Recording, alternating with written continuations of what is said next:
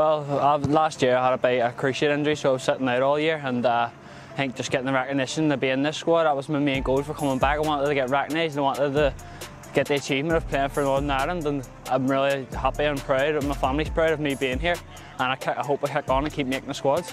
All the lads let me settle in really well. It was easy to make friends. I knew obviously I knew some of the lads from the 19s. We were meant to go to the Euros, but it was obviously postponed because of COVID and stuff. But yeah, absolutely love it. Couldn't speak highly of any of the managers or any more of the players.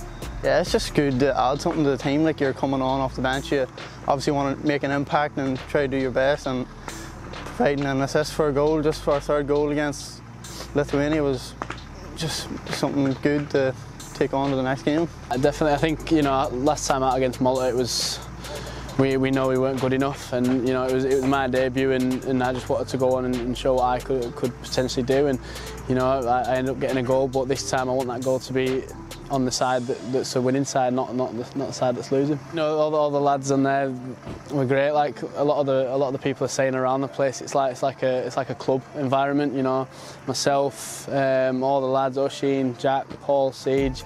Um, I could name I could name every single one of them. They're all brilliant. Um, it's just one of the things where you know we all come in, we all get together after a few months and it's nice to see everyone again in, in, the training. We all have a laugh, but we know when to take it serious. I was, I was proud of myself because um, obviously coming from the under 19s and then playing with all these older players, it's obviously good.